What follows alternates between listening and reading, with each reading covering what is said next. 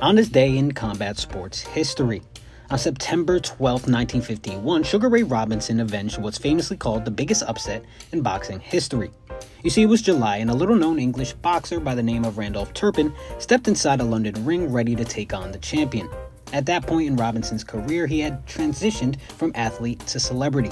The fight took place during a European tour that saw Robinson travel to a different city every night with a large team consisting of a hairdresser, dance instructor, golf coach, a pink Cadillac, and a dwarf named Arabian Knight. Ray would compete and dispatch an astonishing six opponents in seven weeks, but it would be his last one that would prove to be his undoing. Perhaps taking the fight lightly, Robinson was pushed by Turpin to all 15 rounds. Turpin may not have been in Robinson's league in terms of experience, smarts, and technique, but he was younger, fresher, and stronger.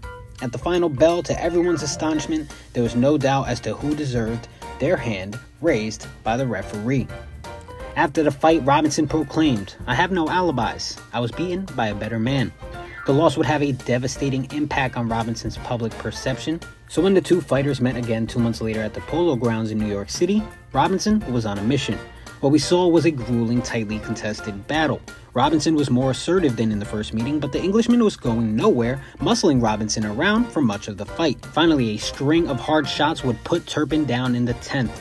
That would be enough as a referee would stop the fight, awarding Sugar Ray Robinson with the belt he once held.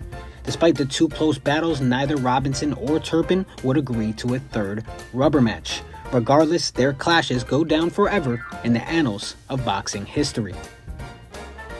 Every time I wake up, shit feel the same. Got a million thoughts and they weighing on my brain. Sipping on my favorite liquor just to ease the pain. Cause I feel like I'm crazy and desperate need to change. Making plans to move and talking state to state. Talking pounds of haze, medical high. Ray, look how my eyes stay. What more can I say? How dare a nigga tell me that this rap won't work?